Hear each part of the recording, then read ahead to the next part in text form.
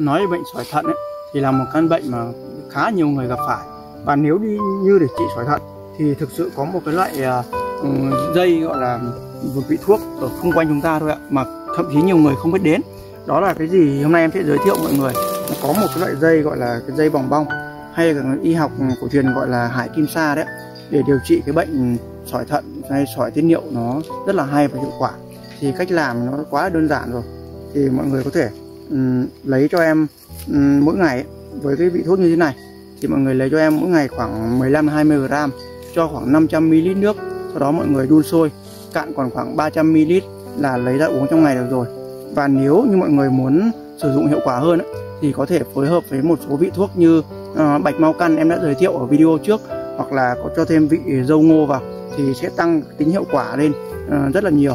Và Ừ, với mọi người xung quanh có những vị thuốc như thế này thì có thể sử dụng hàng ngày được. Còn nếu không có thì có thể liên hệ trực tiếp với em thì em sẽ có những cái bài thuốc ờ, bốc theo thang nó kết hợp với rất nhiều vị tốt và có thể đưa tới mọi người những vị thuốc chất lượng nhất và trị bệnh hiệu quả nhất cho mọi người. Và uh, mong mọi người vừa theo dõi và chia sẻ cho kênh. Muốn liên hệ với em thì có thể nhắn tin hoặc là vào phần hồ sơ của em nhé. Em xin cảm ơn mọi người rất là nhiều.